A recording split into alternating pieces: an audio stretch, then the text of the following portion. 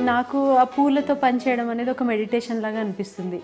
ఎంతసేపు పని చేసినా కానీ మనకి టైం తెలియకుండానే గడిచిపోతుంది. నా పేరు కల్పన. నేను పెళ్ళి పూల జడ అనే సంస్థను నడిపిస్తున్నాను. మా మదర్ పూల జడ చేస్తుంటే చూస్తూ పెరిగాను నేను. కొంచెం అట్లా ఫ్లవర్స్ మీద వాటి మీద ఆసక్తి పెరిగింది.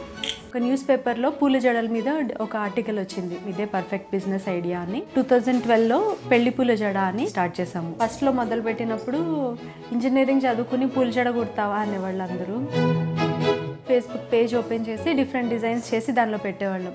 ఎవరెవరో చూసి మా పెళ్ళి పూల జడ కావాలి మీరు తయారు చేస్తారా? చాలా ఎంక్వైరీస్ వచ్చి చాలా ఆర్డర్స్ వచ్చింది. ఇప్పుడు ఒక నలభై ఐదు బ్రాంచ్ల దాకా ఉన్నాయి ఇండియా యుఎస్ ఆస్ట్రేలియాలో. రోజు కొత్త కొత్తగా డిజైన్స్ చేయడం అది పెళ్ళి కూతుర్లకు చూపించడం నాకు చాలా హ్యాపీగా అనిపిస్తుంది.